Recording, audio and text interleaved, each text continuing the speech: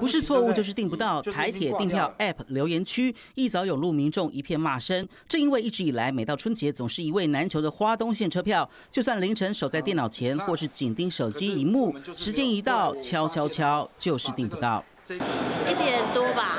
你努力到一点多还是没办法订到。你是十二点整就订啊？错了，要十二点差十五秒钟啊哈，就要按进去了。这位民众幸运抢到票，超开心，大方分享秘诀。不过对没订到票的，只能来年再试。原来都怪花东线太抢手，一到凌晨十二点，大家同时涌入，造成网络瞬间爆量，系统不堪负荷，结果大档。